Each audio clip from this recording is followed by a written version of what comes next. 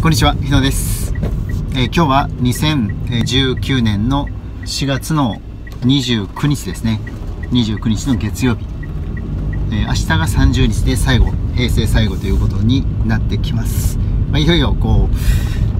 う、大詰め、大詰めじゃないですけど、うんまあ、あの、切り替わりの時が来たなっていう感じではあるんですけれども、まあ、平成ということで、僕,、まあ、僕自身は昭和生まれになりますのであ今日がなんかその昭和の日ですよね。29日4月29日が昭和の日でで明日が平成最後の日。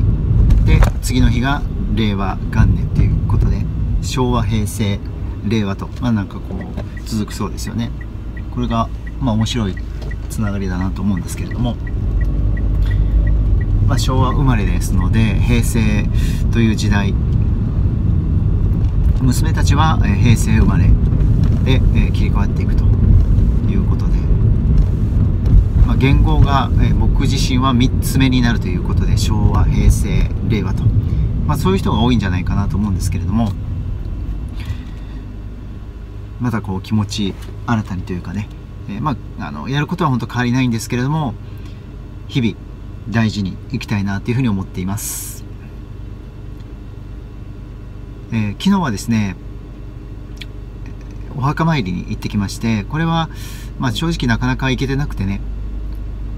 あのいかんなというかいけないなとは思ってたんですけれども、うん、母方母親の、えー姓がですね、まあ、僕は日野ですけれども母親は すいません、えー義満っていうねあの好む好き好き嫌いの好きに光って書いて義満っていうんですけれどもその義満家の、えーお墓参りに行ってきました。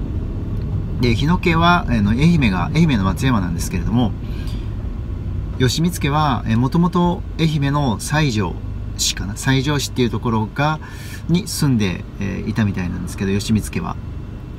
でこちらの大阪の方に出てきてで今はま大阪近辺に住んでる人が、えーいるということで。で結局お墓も愛媛にあったんですけれどもそれを全部大阪の方に移して大阪のえーうんと何だったかな。大阪のえしえー市場市場縄手？え？なんかそんな名前の市がありましたよね確か。市場縄手ですかね。あの寝屋川寝屋川インターっていうところがあるんですけどもその大阪の寝屋川インターを降りて、えーまあ10分20分ぐらいですかね走ったところにあるお墓で飯森霊園っていうのがあるんですけど、まあこれがむちゃむちゃえー広いお墓でびっくりしたんですけどもで第1区第2区とかでその5区とか4区とかいろいろあってその中でもとにかく広い、えー霊園でした、まあ、整備がきちっとされてて、えーまあ、その気持ちいい場というのか。で、まあ、そこでお墓参りをさせていただいたということで、まあ、なかなか、えーできない、まあ、本当はね本当に頻繁に行った方がいいんじゃないかなという気もするんですけれども、まああのまあ、場所は分かったのでこれから両親じゃなくてもね僕らでも行くことができるし、まあ、ご先祖様への、まあ、感謝の気持ちっていうのはすごく大事だなというふうに僕自身も思うので。だからまあお墓お墓参り行くことが、えーいいっていういい悪いでもないのかもしれないんですけれども、えーまあ普段からのその感謝の気持ちっていうのを忘れずにいたいなと思うんですよね、まあ、その気持ちがあれば、えーまあ、えー絶対毎月行かなきゃいけないかとかっていうことではないと思うんですよね多分そのえー要は日頃からの感謝の気持ちを持ち続けることが大事じゃないかなと思いますので、えー考えてみれば僕たちが今ここにいるっていうのはもう当たり前なんですけれども、えー日々のその、えーご先祖様がおられたから今こうして日々生活できるっていうところがあるわけですよね、まあ、それを忘れずに、えーいたいなと思いますし、まあ、日々そういうふうにあの目に見えない存在に対しての感謝の気持ちっていうのを、えー持っていきたいなっていうふうに思ってます、まあえー来月あ来月か。昨日ね行くことができましてまずはちょっと良かったかなというふうに思ってます。で日野家の方もあんまり、愛媛なので、え正直行けてないですけれども、まあ、またあのどこかのタイミングでね行ければなと思ってるんですけれども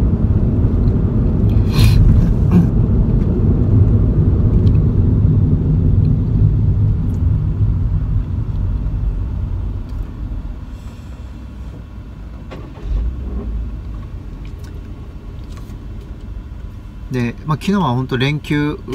連休がですね、入りたて、27から連休で28日に行ったので、まあ、連休、その高速名神使っ、あ、名神じゃないですね、刑事バイパスっていうところから、えー、向かったんですけれども、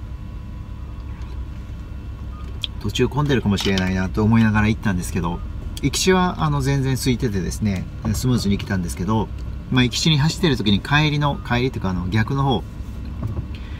えー、大阪から、えー、その名神、名古屋とかあっちの方に向かう道がもうだだごみで、刑事バイパスのあたりも、えー、すごく混んでたんですよね。だからこれはもう帰りまともに行ったんでは、あの、かなり時間かかるだろうっていうことで、帰りは、あの、下道を通って、大阪、京都、滋賀と入って、あの、帰ってきました。まあ多分そっちの方がね、えー、早かったんじゃないかなと思います。なので、まあそういうふうにね、お墓参りも、まあ、時々は行ければいいなと思いますし、まず何よりも毎日毎日の、あの、まあ、ご先祖様への感謝の気持ちっていうのを、えー、手を合わせるっていうのは大事じゃないかなと思いますので、まあ、僕自身はその、伊勢、えー、白山道さんっていう方の、その3本の先行先行供養ですっていうのをさせてもらってるんですけれども、まあ、それがちょっといいのか悪いのかはわからないですけど、気持ちをこう、整えるその場で、えー、そのそういう形式的なものではあるんですけれどもやっぱ気持ちを捧げるっていうことが大事なのかなと思って、えー、まあ、その先行先行供養っていうのをあのしていますだから結構これあの去年僕いろいろ体験したんですけれども先祖供養というのかご先祖様の見えない部分への気持ち感謝の気持ちとか、えー、その見えない部分の影響って結構受けているっていうことが分かりまして、まあ、正直驚いたことがあったんですけれどもだからそういう目に見えない存在に対しての、えー、感謝の気持ちすごい大事だなっていうふうにあの感じてます。それであのこう現実界が左右されるっていうことがあるんですよね実際に、うん、だからやっぱこう目に見えない動きとか目に見えない存在、そういうのはすごくね重要だというふうに思います、うん。まあ、そういうことを大事にしながら、えー、また新たなね言語変わってもいきたいなっていうふうに思っております。今回は以上になります。ありがとうございます。